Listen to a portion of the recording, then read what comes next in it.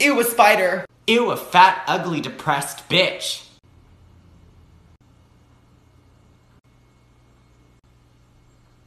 What did you just call me?